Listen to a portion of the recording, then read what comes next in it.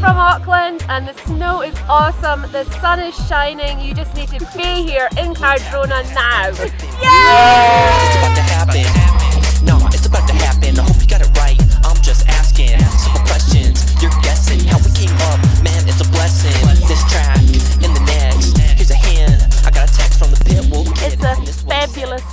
Here at Cardrona. We've had a great accumulation of snow over the last week or two and now we're recording a 90 centimetre base at the top of the hill and a 50 centimetre base at the bottom of the hill. The groomers are incredible, they're getting wider and wider, um, it's just getting much better skiing as we go into the depth of August up here in Cardrona.